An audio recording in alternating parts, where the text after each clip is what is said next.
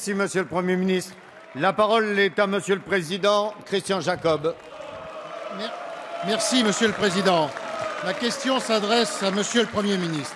Monsieur le Premier ministre, il y a un an, Jean-Marc Ayrault était remercié après le terrible échec de la gauche au municipal. Un an après, vous subissez à nouveau une défaite électorale cinglante. Et dimanche soir, vous dites aux Français peu importe votre vote, peu importe le résultat des élections, rien ne changera pour moi et aucune, je n'en tirerai aucune conséquence politique.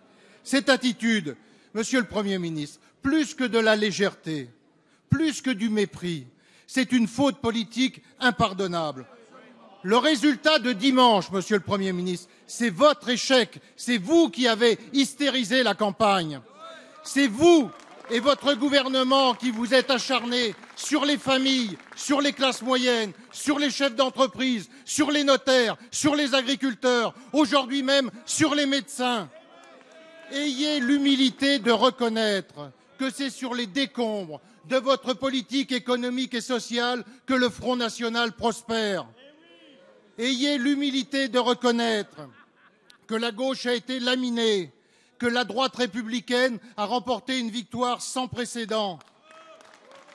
Ayez l'humilité de reconnaître que votre bilan politique, c'est une majorité en pleine déliquescence, c'est un groupe socialiste totalement explosé, c'est une hécatombe dans les départements, dans votre propre département. Je vois que ça vous fait sourire. Vous avez été battu. Le président de la République a été battu dans le sien. C'est ça la réalité.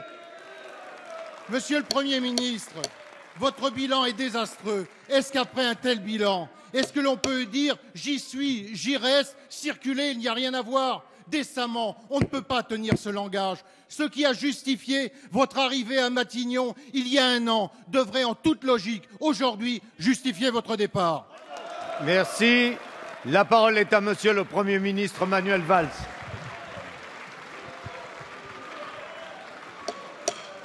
Par, euh, On écoute la réponse. Allez, s'il vous plaît, s'il vous plaît. par expérience, euh, Monsieur le Président Jacob, comme j'ai siégé dans l'opposition et que j'ai assisté à de larges victoires à l'occasion des élections intermédiaires, je pense que quand on est dans l'opposition, il faut avoir le triomphe mesuré et modeste, ce que vous ne faites pas il y a un instant. Votre intervention, Monsieur Jacob, malheureusement une nouvelle fois, c'était vrai d'ailleurs à des occasions même plus graves que nous avons connues, elle est, et je le regrette, caricaturale. Parce que vous avez, vous aussi, vous avez, vous aussi, aujourd'hui une responsabilité, puisque vous gouvernez désormais, vous allez gouverner à partir de jeudi, une majorité de euh, départements et que les départements, nous l'avons tous rappelé à l'occasion de ces élections départementales, ont évidemment des responsabilités, des compétences essentielles pour la vie quotidienne des Français. Mais chacun, chacun a une responsabilité. Et puisque vous avez parlé de l'extrême droite il y a un instant, Monsieur Jacob, je voudrais uniquement rappeler une nouvelle fois, et cette fois-ci dans cet hémicycle, que l'attitude de la gauche dans ce scrutin, en appelant à voter pour tous les candidats de la droite républicaine face au Front national, a été une attitude qui a été la même que nous avons adoptée, notamment à partir de 2002, et que j'aurais souhaité pour mon pays et pour la vie politique et pour la vie démocratique que la faute politique qui a été celle de Nicolas Sarkozy, du nini, de l'absence de choix face à l'extrême droite, soit davantage combattue. Elle l'a été, heureusement, par beaucoup d'entre vous et par beaucoup de vos élus, mais qu'il en reste une trace, parce que quand on ne sait pas choisir entre la gauche républicaine, entre la gauche et l'extrême droite, on commet là une faute politique et morale, Monsieur Jacob. Alors, je l'ai dit dès dimanche, et je le redis ce matin et je l'ai dit cet après-midi, oui, nous, nous devons tirer les leçons. Vous ne l'avez jamais fait, vous, quand vous avez perdu des élections locales.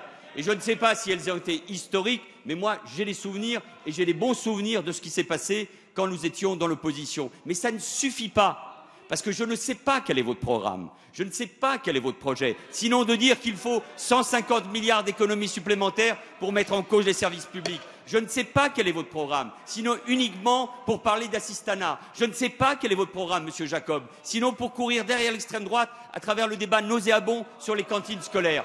Donc je crois que précisément, si nous voulons, Monsieur Jacob, avoir un vrai débat dans les deux ans qui viennent, parce que je vais vous rassurer, je reste et j'assume pleinement mes responsabilités. Et c'est ainsi, Monsieur Jacob, si vous voulez un vrai débat pour les Français, si nous voulons sortir de cette crise politique que traduit aussi le nouveau Monsieur paysage politique Meunier. et l'abstention, vous, vous devez vous découvrir, présenter un vrai projet aux Français. Il y a plusieurs projets qui aujourd'hui sont devant les Français. Celui de sortir de l'euro, celui de sortir de la politique agricole commune, sortir de l'Union européenne, c'est-à-dire de ruiner les Français. Il y a votre projet qui consiste à remettre en cause le modèle social. Et il y a notre projet que nous devons mieux expliquer, mieux concrétiser, avec des résultats, qui est celui de redresser le pays, mais de garder toujours le cap qui est celui du progrès et de la justice sociale. Et parce que c'est une période dans laquelle la France a des défis majeurs à relever, eh bien, je continuerai à cette place avec le gouvernement et avec la majorité à combattre pour cette idée que j'ai de la France et à combattre les idées qui me semblent mauvaises pour mon pays.